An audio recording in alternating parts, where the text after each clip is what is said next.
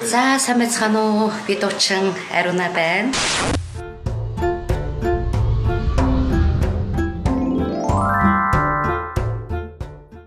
Мэдээж хэрэг би дуучин хүн учраас а өөрийнхөө арьс гоо засал гадаад гоо сайхан гэд бүхий л зүйлд анхаарах хэрэгтэй шүү дээ.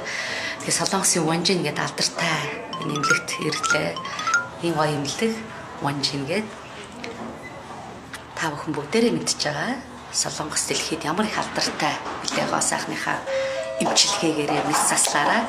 Тэгээ мэдээж би бол натур өөр өөрө харагдахыг үргэлж хүсдэг. Арьс маань хамгийн гол нь залуу үсгсэнтэй сайхан харагдах хэрэгтэй.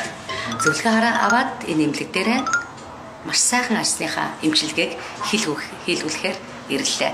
За баярлалаа. 네, 안녕하세요. 안녕하세요. 네. 지금 제일 고민이고 그 다음에 이제 어떤 게 제일 개선하고 싶은지. За хамгийн нэгдүгээр миний арсыг түрүүний миний хэлснэг тийм ээ. Арс маань 그리고 제가 봤을 때는 탄력도 탄력이지만 약간 기미잡티. 이런 것들이 같이 개선하면 좋을 것 같아요. 원주스도 같은 насныхаа өр байгаа. 저랑 간단하게 이렇게 상담 도와드렸고 원장님 보시고 나서 뭐 정확하게 더 추천드릴 거 이 있으면 어떤 이렇게 게 진행하도록 ихний 할게요.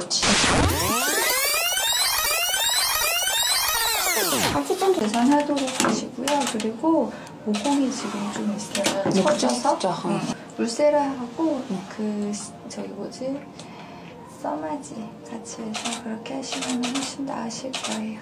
그래요. ер нь бидний насны эмэгтэйчүүд нүүрний нөхцөлт ихтэй байдаг. Арс маань баг зэрэг хуурайшилтай байдаг. Тэгээ энэ талаараа бүх талаараа зөвлөгөө авлаа. Тэгээ цаашдаа арсыгаа гоо сайхнаа эрүүл аргаар, зөв аргаар, зөв эмчилгээгээр аргачлалаар авч явах тэрэл дээр маш сайхан зөвлөгөөнүүдийг авлаа. Тэгээд их аз жаргалтай байна. Тэгээд одоо эмчилгээндээ орлоо.